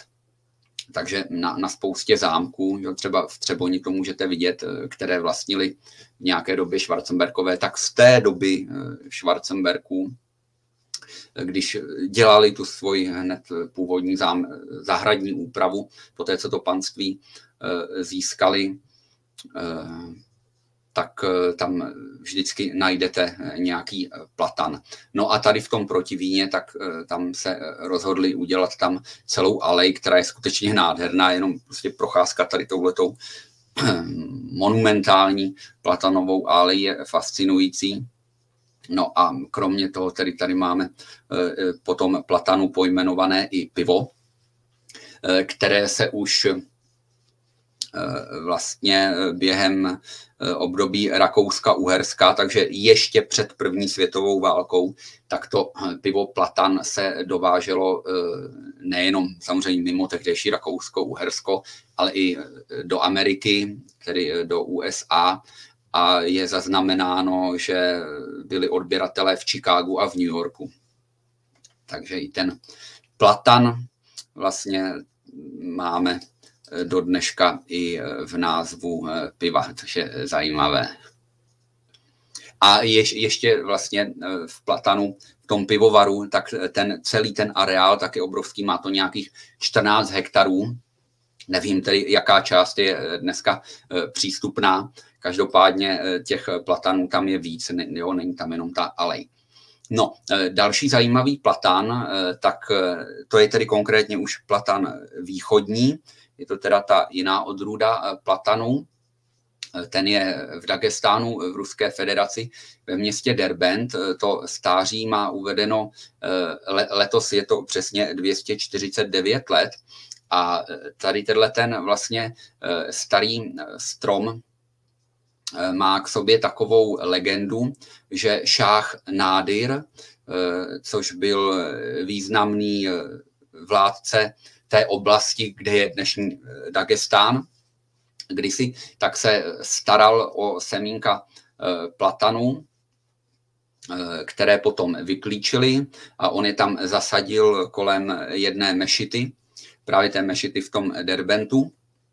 A od té doby vlastně tam tady tenhle ten jeden eh, zůstal a eh, do dneška je vlastně tam ta legenda živá, je, ob, je obdivován a je to vyloženě i e, turistické, turistické místo. A e, co je zajímavé, tak tento strom byl vlastně v loňském roce, ten dagestánský platan, e, nominován teď teda nevím, jestli za celou Ruskou federaci nebo jenom za Dagestán, ale myslím, že celkově vlastně jo, za Ruskou federaci, mohl jenom jeden strom, tak byl nominován do té soutěže Evropský strom roku, byl teda loni, že Evropský strom roku 2021 a tam se umístil na třetím místě. No. Takže zároveň to byl asi poslední strom eh, z Ruska, kterému bylo umožněno Eh, účastnit se nějaké takovéhle evropské soutěže. Víte, že dneska i eh, pejsci, kočičky a ostatní zvířata eh, z Ruské federace už mají zakázáno soutěžit a samozřejmě to, co se týká i stromů, takže to je taky taková kuriozita dnešní. No, jinak tady tyhle ty východní platany, tak jsou vlastně tady v té části toho středního východu taky hodně rozšířené a třeba celá řada jich je v Uzbekistánu, kde jsou tedy zase i cíleně v parcích a e, ve městech. A v tom Uzbekistánu tak je to přímo národní strom, takže platan, je, platan východní je národním stromem Uzbekistánu a Uzbeci mu říkají činara. Tady u nás máme další zajímavý platan Eh, který můžete najít, eh, tak je ve městě Brandýs nad Labem Stará Boleslav. Myslím, že to je ta část. Stará Boleslav a je to tam v místě, kterému se říká v Houšťce a tady tenhle ten platan má taky stáří 230 eh, až 250 let. Takže je to určitě jeden, jeden z těch největších, nejmohutnějších u nás. No potom známý je třeba na Moravě zase platan u Janova hradu v Lednici, že v tom lednicko-valtickém areálu. To je taky platan, který je na celé celé řadě fotografií, protože když, se, když si najdete teď fotky někde Janova, Janova hradu, tak určitě tam ten platan u něj uvidíte, ten nejde přehlédnout a dotváří tam vlastně ten malebný eh, kolorit toho parku. Eh, další překrásený platan je v zahradě zámku Vrchotovy Janovice, což teda vůbec i ta zámecká zahrada ve Vrchotových Janovicích je jedna z nejkrásnějších, nejenom teda v rámci středočeského kraje, tam jsou i překrásné duby, je to, tam jsou nesmírně silná energetická eh, místa a je tam právě i úplně nádherný, nádherný platan v těch vrchotových Janovicích, tak myslím, že to je taky hezký typ eh, na eh, letní výlet. Dal, další platan v zámku v Běstvině, jo, Santiniho zámek, vůbec město vesnice, kterou sformoval Santini, že tam máte zámek, kapli a ještě kostel a tady u, té, u, u toho zámku, eh, tak eh, tam vlastně zasadili platan. To jestli teda i ten koncept toho platanu tam dal Santini, nebo jestli to byl ten tehdejší majitel panství, to se neví, to těžko říct. Santini teda obecně vysazoval vlastně k zámkům i ke kaplím vždycky jako lípy, takže tam jako třeba, třeba zámek Karlova Koruna, že tam ty lípy, tak to je taky Santiniho koncept, nejenom teda ten zámek, ale přímo i ty lípy.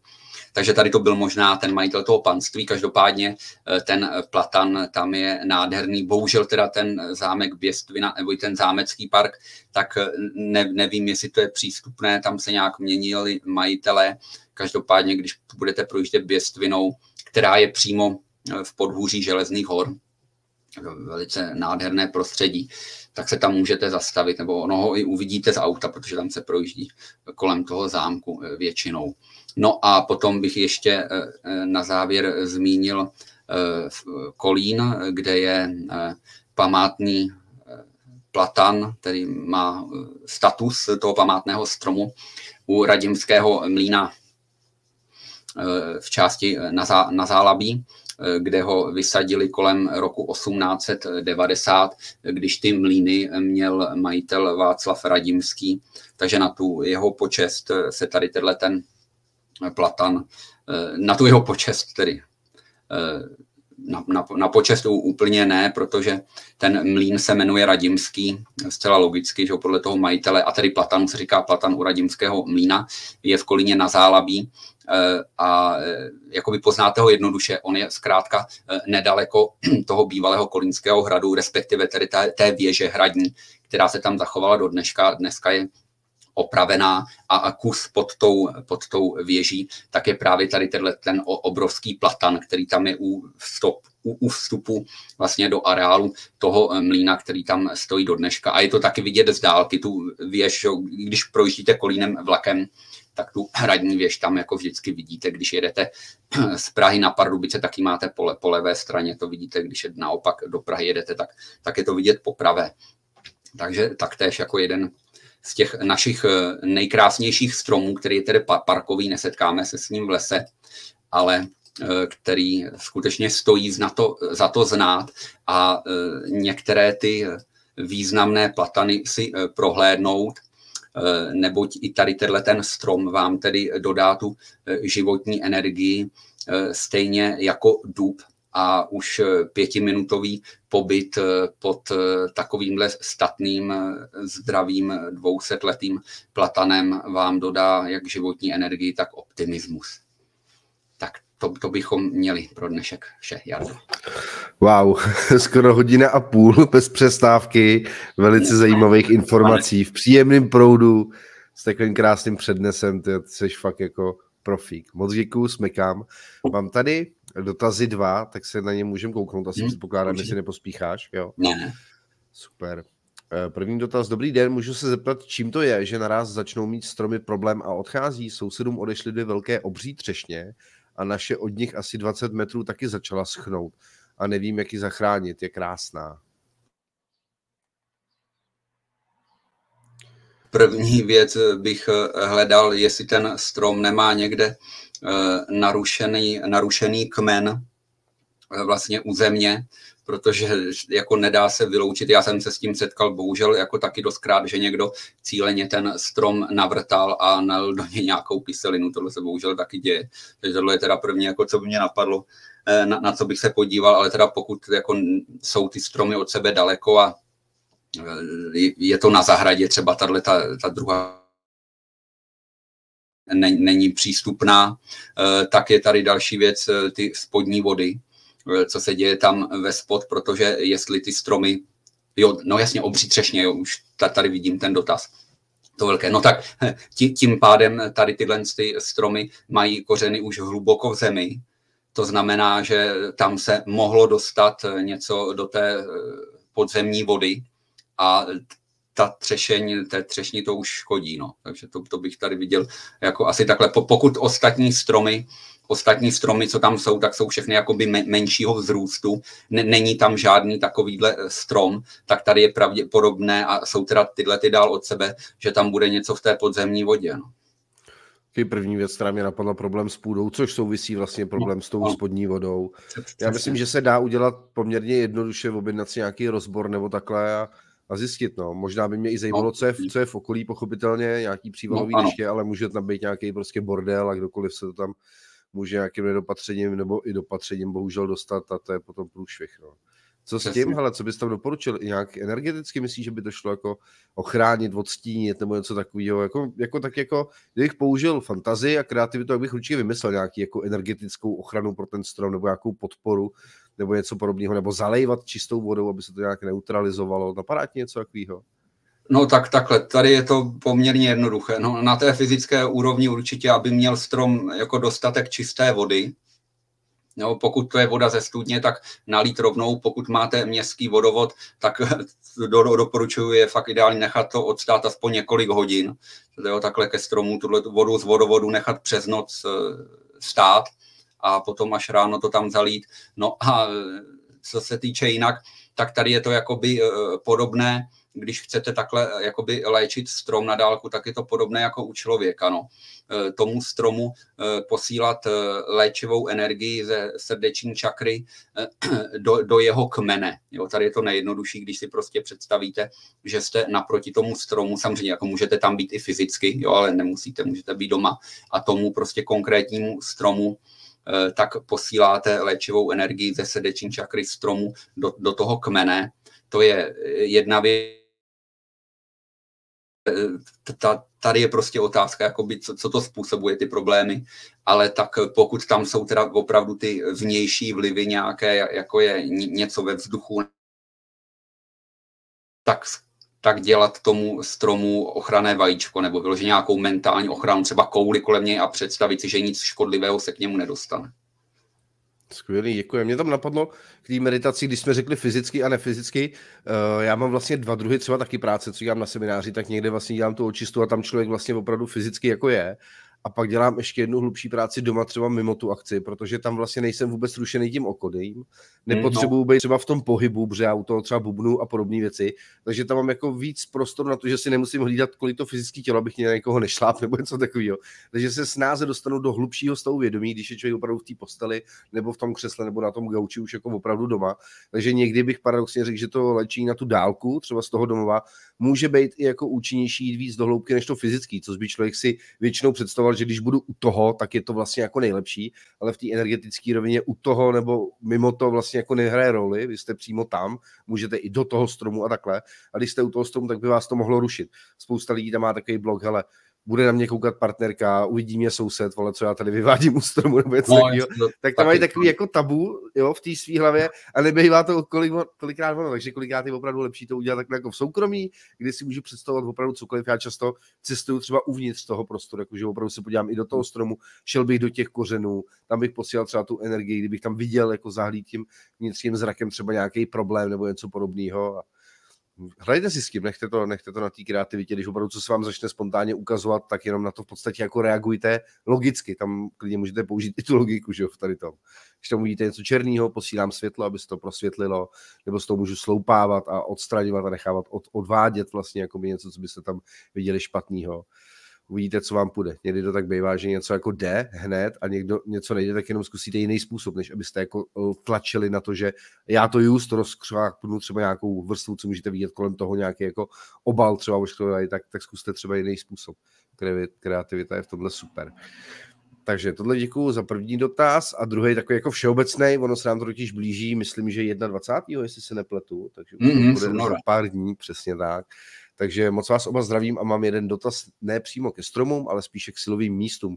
Poradil by Honza nějaké silové místa na Žatecku, Lounsku, kam vyrazit na slunovrat. Moc děkuji a zdravím. Tak já tě poprosím Žatecko, Lounsko a pak bychom to vzali asi všeobecně. Já vím, že tohle je teda průšvih, ale řekni prostě za sebe nějaký tvý oblíbený místo, kam ty bys vyrazil eventuálně buď na nějaký celonoční rituál, mě napadlo, anebo na procházku. A jestli můžeš teda Žatecko, Lounsko, jestli takhle máš něco tak, v repertoáru. Tak vlastně žate, Žatecko, Lounsko, tak u těch Loun, že jo, tak eh, tam už máme České středohoří, což, což je teda obecně jakoby tak, taky silná energetická oblast.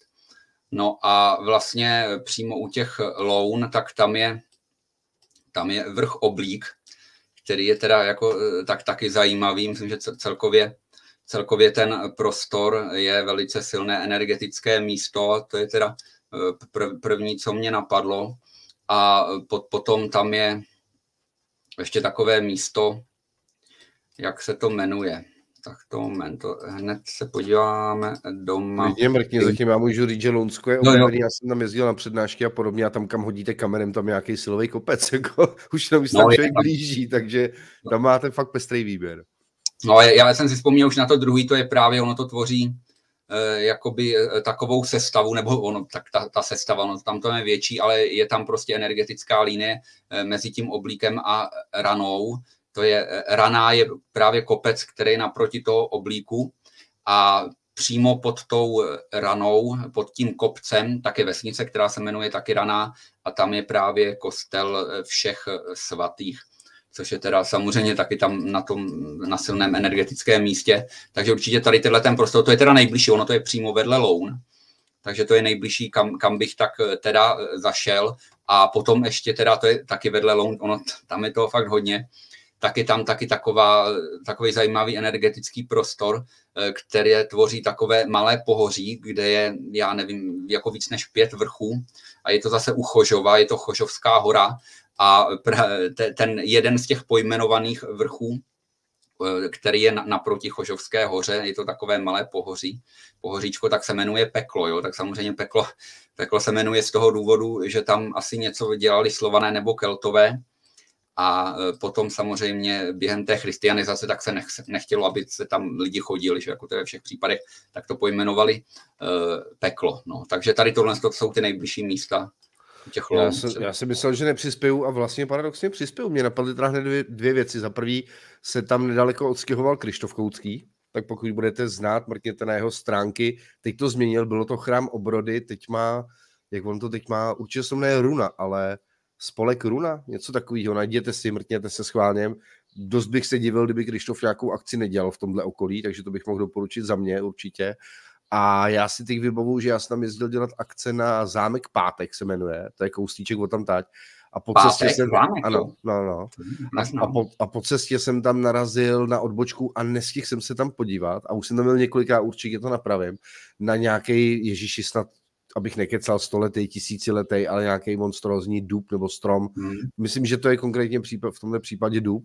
A jsou tam na to jako i odbočky místní, o tom samozřejmě jako vidějí, takže to bude nějaká jako místní památka, nějaký obrovitánský strom. My jsme tehdy měli docela jako naspěch a pak jsem měl už jinou cestou, ale vím, že to mám takový jako tady vzadu takový jako restík, který si určitě napravím, až tam pojedu a mělo by to být teda tohle v okolí louny, jo? nejsou to přímo louny, ale louny sami o sobě. Jana Radová se tam předstěhovala, tam, je, tam teď všichni se stahují k lounům, tak si říkám, že tam bude taky nějaký zajímavý epicentrum vlastně jako čehokoliv. A já jenom, už když tam přijíždím, tak já často se opravdu jenom zastavím a fakt se kochá, kochám pohledem na ty kopce kolem, protože to je fakt nádhera a my tady na tom Kolínsku, ty to znáš, veď, to, to přece jenom ne, není úplně jako pestré na kopečky, ale zase, když už nějaký, tak to stojí no. za to. Takže to, Takže tohle můžu doporučit za sebe.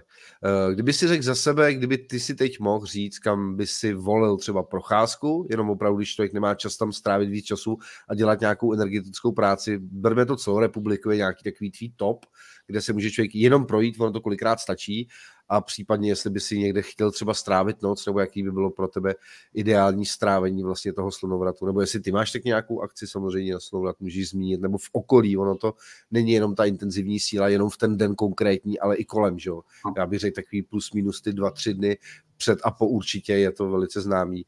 A já mám paradoxně oskoušený, že mě na ten snowboard jako takový se úplně moc nechce, ale den před nebo den po mě to sedí jako víc. Jo? Víc jsem tam jako uvolněný, víc se cítím v pohodě, jestli už je to tolik intenzivní, tak co máš k tomuto?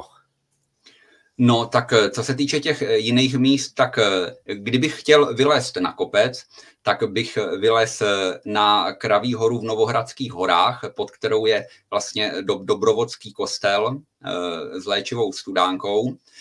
Kdybych se chtěl projít po nějakém vyloženě areálu, tak bych teda jedno, jednoznačně šel navštívit Kouřim a to Kouřimské hradiště, kdybych chtěl navštívit nějaký zase kostelní areál, eh, tak bych jel do, do Křtin, a eh, kdybych se chtěl jakoby projít po nějaké městské, městské zástavbě tady v tomhletom období, tak by to byl buď to Český Krumlov, centrum Českého Krumlova, Eh, centrum Kutné hory, a nebo pochopitelně, eh, což teda udělám já, eh, tady vlastně centrum Prahy, malá, malá strana Hračany, Nový svět, a tady tenhle ten region kolem vlastně toho Strahovského kopce. Nádhera, já můžu za sebe jako doporučit, kdybych měl nebo já budu mít pravděpodobně, ale beru to jako, že to chci mít na dojezd, tak u mě samozřejmě kouřím, ta je asi jako nejblíž a tam vůbec ta skála a podobně, tam je to fakt moc příjemný, takže tam bych se určitě zastavil v rámci právě nějaký procházky. I je tam intimčo, takže tam si jde zameditovat, posedět, tak nějak udělat nějaký individuální rituál. Pokud bych měl náladu jet někam do Prahy, tak konkrétně v tomhle, tak pro mě prostě je top ten Vyšehrad. Jo. Tam se můžete fakt jako projít a, a, a co kus to, to čerpat něco nebo jak pracovat. A i jako poměrně nenápadně, tam mě to přijde úplně špičkový v tady tom. A to je asi všechno ode mě. Myslím, že a potom, když byl teda hodně línek, já tady mám tu chotoun, že jo? Tak tam je ta, ta balinská brázda, je tam ten kopeček a tady to. No, tam teď jsem si oblíbil jezdit, teď jsem si oblíbil jezdit na tu Pičhoru, tam je to taky super, je to moc hmm. hezký tam jsou taky nějaký vykopávky, tady kolem je toho opravdu jako mraky. Ale já bych za sebe na tu procházku to, a kdyby náhodou někdo věděl, je to zajímavé místo, já teda nevím, jak se jmenuje, omlouvám se, já tam asi natočím nějaký video, nebo tam pošlu tebe třeba, ty to budeš vidět možná líp. Tak když, se jde, vlastně- když se jde vlastně po Hradecký dálnici a seš vlastně no. kousek už před Taskou, tak po levé straně je vidět na kopečku takový zbouraný kostel. Je bez střechy a má čtyři vchody vlastně jako do sebe a co jsem se dočetl, jak on je napojený na nějaký tři silový hory právě takhle jako z okolí. Je zvláštní u toho kostela pokaždý, když ho chtěli zastřešit, tak schořela střecha, jako by musela Aha. zůstat otevřená. A jsou tam ty čtyři vstupy, které vycházejí vlastně na všechny světové strany. My jsme tam už jednou trávili noc a tam to za mě bylo skvělé. Byli jsme tam úplně sami, uprostřed přímo se dá a je tam udělaný vlastně ohniště. Trošku ruší dálnice, protože je kousek, bohužel. No, právě, ale, na, no. ale na to si jako zvyknete, po chvíli to vlastně v podstatě jako nevnímáte a je to skvělý na nějaký rituál, dejme tomu právě zaměřený na čtyři světové strany, čtyři živly, tím, že vy jste uprostřed v otevřeném prostoru a do všech těch světových stran máte jakoby vstupní bránu v podstatě. Jo? Je to tam takový opravdu jako velice zajímavý. Samozřejmě udržujte pořádek a takhle, když už byste tam jezdili nějaké takové místa a uklízejte po sobě, ať je to všude. Ale to snad asi nemusím ani zdůraznit. No. Ty o tom budeš vědět něco víc, no. mám takový pocit. Eh, je to zřícenina barokní kaple povýšení svatého kříže, a je to teda, ta, tak jak si Jardo říkal, jo, je to fakt tam eh, silný energetický místo, eh, jenom právě je tady teda eh, ta dálnice kolem, takže je to místo prostě, který je všude vidět a je to teda místo, který je taky i díky tomu, protože to je všude vidět, tak je to taky hodně navštěvovaný, no. Takže jako já úplně tady na ta, ta, takovýhle významný den bych tam nešel, protože je jistý, že, že tam nebudu sám, že tam bude víc lidí ale je tady jedno zase podobné místo, který teda já mám třeba radši, který už není tolik na očích, ale je to jako velice velice podobné, je to taky vedle silnice, ale už ne tak frekventované, není to vedle dálnice. A to je pro změnu zřícenina eh, letohrádku Belveder, který nechal postavit špork cíleně na eh, místě, eh, kde se vlastně měly konat i různý magický rituály, které se tam teda i nás, následně děli, protože to je místo, které se využívalo k různým věcem a rituálům a do dneška se tak do dneška se tak občas děje a to je zase, když jedete do Kutné hory. Je to mezi vlastně na půli cesty mezi Bečváry a Kutné hory, když tady jdete po té starý Kutnohorský, tak když jedete přímo do Kutné hory, tak je to zase dolem doprava. A ten vrch, kde to je, tak se jmenuje Vysoká. To, když jsem si ještě vzpomněl, to ty budeš asi pravděpodobně vidět, ale to není u Kutný hory, to je fakt kousek v okolí Kolína a je to taky nějaká kaple kulovitýho tvaru, dá se do ní vcházet. Hmm taky bez střechy, nebo několika patrová, je to i podzemní a takhle. My jsme kolem teda jenom projížděli, ale to je velice zajímavé místo. Kdybych byl asi konkrétnější, tak si pravděpodobně vzpomeneš. Já jsem to neznal, kluci mě tam uh-huh. zavedli a to jsem docela koukal a nepamatuju si, co to je. A Belvedere si myslím, že to není, ale je to taky poměrně známý místo. Na mě to pak někde jako vyskočilo. U mě tady to, co jsi zmiňoval u, tý, u toho povzneseného kříže, nebo jak to bylo, tak je zajímavý právě tím, že to bylo na očích. Já kolem toho jezdil fakt roky. Roky kolem toho jezdil. Já se tam prostě musím jednou podívat, protože a to trvalo let, no. než jsem se tam dostal. A já měl teda kliku, protože my jsme tam byli, už bylo asi pravděpodobně léto, ale trochu zima, no uvidím, něco v létě a jako opravdu tam snad prošli dva lidi za celou dobu a byli jsme tam hmm. celý den, celou noc i druhý ráno, takže já jsem s tím neměl jako negativní zkušenost, že by tam byl nával. Hmm. A na druhou stranu si myslím, že by to mohlo být i pro někoho třeba výhodou, protože každý to má nastavený jinak, že je dost pravděpodobný, kdybyste se tam právě vydali v takhle silový den, že tam právě na někoho narazíte, že jo. A no tak to, jako už asi člověk pozná, že jo, že je dobrý den, co, co vy tady takhle, no asi, a už se můžete krásně seznámit a najít někoho, kdo to má třeba takhle společný. Tak jo, žádný jiný dotazy tady nevidím, jenom děkuju za, za připomínku anebo doplnění, já nevím to jméno, ale pravděpodobně se bude jednat o ten Dub Peruc. Dub, dub, dub, dub Peruci, no, to, to je jed, jeden z nejstarších u nás, no, tak, a to tam, to je pravda, no, to tam je v tom regionu. Tak se omluvám, já v tom nejsem takhle jako ty, že nevíš, že znáš každý druhý strom, to je úžasný. Já ti poprosím, ty jsi nezmínil nějaký svoje akce, ale z začátku jsme se bavili vlastně mimo vysílání, no, že teď máš poměrně hodný program, tak budu moc rád, když to pozdílí s divákama, pozveš je třeba na nějaký svoje akce, případně nezapomeň zmínit samozřejmě svůj YouTubeový kanál, případně tvoji práci vlastně na dalším YouTubeovém kanálu příznaku transformace, že jo? No cokoliv prostě, co tě momentálně napadne tak eh, te, teď momentálně eh, tak vlastně je před námi eh, to období, o kterém jsme se zrovna teda teďka bavili, toho slunovratu. A je to vlastně, tohleto období je slunovrat svatojánská noc, jo. tohleto by jakoby je ten jeden z těch významných momentů v tom roce, a já jsem to vlastně letos udělal tak, že jsem si připravil akce na tu druhou část, to znamená té, té svatojánské noci, konkrétně teda 23. a 24. června eh, jsem se rozhodl, že budu dělat individuální procházky po Praze, vlastně vše, všechny ty trasy, eh, které mám, tak bude možné eh, provést individuálně a to v rozmezí od 7 hodin od rána do 8 do večera, s tím, že v 8 večer může být start té poslední, takže by to bylo až do 10, takže je teda možnost i noční procházky tady v tomhle eh, zajímavým, zajímavém období. No eh, potom chystám vlastně další akce procházky někdy na červenec, srpen, a z toho, co už teda máme domluvené, tedy nebo co už konkrétně je, tak budeme mít právě 30. července další společnou akci s Františkou Janečkovou a dohodli jsme se, že uděláme spolu svatou horu u Příbramy, takže bude tam velmi zajímavá akce. Všechny srdečně zvu. Informace o tom ještě žádné nejsou, budou předpokládám v nejbližším, v nejbližším týdnu. To všechno se píšeme, musíme se podívat taky, jaká je doprava z Prahy Eh, a aby to potom všechno bylo přehledné pro účastníky. Každopádně teda 30. července eh, už je to dané. Eh, potom budu 6. srpna na festivalu příznaků transformace v Kolovratech přítomen. Jinak momentálně se dokončuje další video o šárce pro kanál Vědomá turistika, které je vlastně taky dalším kanálem příznaků transformace. Chystáme tady další natáčení dalších pořadů.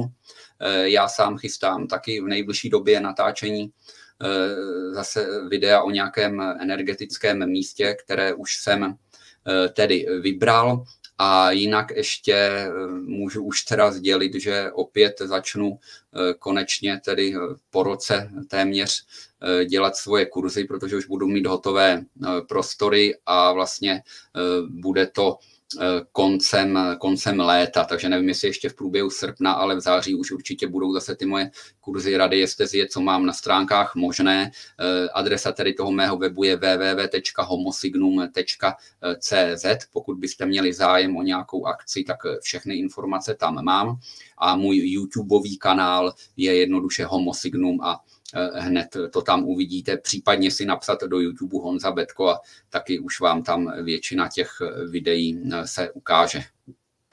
Skvělý, nádhera. Znovu jsem si ještě jednou na tebe vzpomněl vlastně, že i nadále, nevím, jestli teda poskytuješ teď, ale asi jo, protože nedávno jsme si bavili s kamarádkou, že si u tebe nechala dělat právě rozbor energetických center takže to asi platí nadále. Že jo? To dělám stále, samozřejmě pokud by chtěl někdo analýzu čaker nebo případně pozemku, zjistit geopatogenní zóny, tohle to všechno pořád dělám a ty informace jsou na mojí stránce homosignum.cz. Já jsem prošel, taky partnerka si objednávala ty talenty, to tam máš pořád talenty. To je taky hodně zajímavý. Skvělý. Tak jo, hele, já ti moc krát děkuji za tvůj čas, vyčerpávající, úžasný pořád, myslím vyčerpávající informačně, naopak energeticky krásně doplňující a dodávající sílu a fakt smekám před tvýma znalostmi, je to, je to skvělý. Moc děkuji za tvůj čas, budu si těšit určitě zase na nějaký další povídání, ještě doladíme nějaký, nějaký téma, případně dáme možnost divákům, kdyby chtěli konkrétně třeba od tebe, nevím, ty stromy úplně na objednávku to asi dělat nebudem, ale nějaký takovýhle téma, klidně pište do komentářů, jak se můžeme inspirovat a Jasně. moc ti děkuji a měj se krásně, ahoj. Já děkuji za pozvání, měj se krásně, Jardo, a zdravím všechny diváky skutečného života. Mějte se krásně. Čau, čau. Nádherný pořad, věřím, že vás bavil. Pokud chcete, pochopitelně máte možnost mě podpořit dobrovolným příspěvkem finančním, který investují dále do nějakého rozvoje skutečného života. Moc krát vám děkuju, komu, kdo už jste přispěli, anebo se o tom teprve rozhodujete a budete. Můžu vám zrovna teď ukázat jeden výdobytek, pardon. Vytáhneme.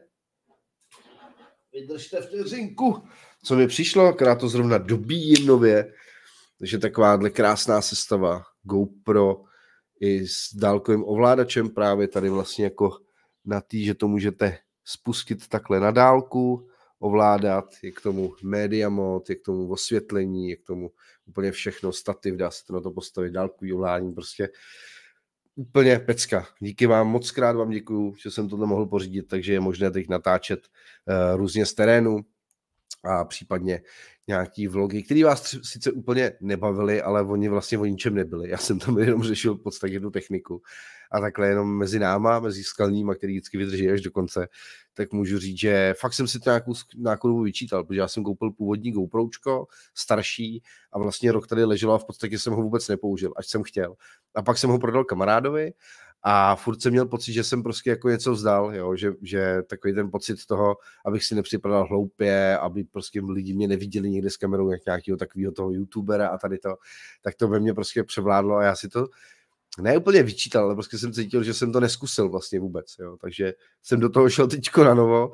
Je tam výhoda obrovská, že tady v tom, v, tý, v tom spotku je v podstatě zabudovaná baterie, což byl největší problém GoProček, tohle by mělo normálně vysílat nějaký 4 hodiny, nahrávat úplně s přehledem, což je naprostá paráda, takže to není problém vůbec žádný použít i na hosta, protože i díky vám a vašim příspěvkům mám ještě tady externí mikrofony, které se normálně připnou a přepojí se právě s tady tím Bluetooth, takže než kupovat nějakou opravdu velkou drahou kameru, což by samozřejmě taky bylo řešením, tak si myslím, že tohle by mělo vystačit. Uvidíme, ještě jsem to ani nevyzkoušel, zatím se s tím tak jako učím, takže uvidíme, možná natočím v nejbližší době pár takových v jako zajímavostí jenom, no možná hloupostí, abych to jako vyzkoušel. A pak se můžete těšit, pochopitelně budu brát na dovolenou, na jakýkoliv výlety, můžete si těšit, mám v plánu to vzít teď třeba na turnaj MMA, jak byste viděli třeba zákulisí toho, jak to vypadá v takových turnajů sportovních akcí, bojových sportů a vůbec na všechny možné výlety, kam jezdíme a, a, a pejska se můžete těšit, něco natočíme, cokoliv, co bude prostě k dispozici. A věřím, že vás to třeba bude zajímat, nějakého jako víc soukromí třeba mýho života.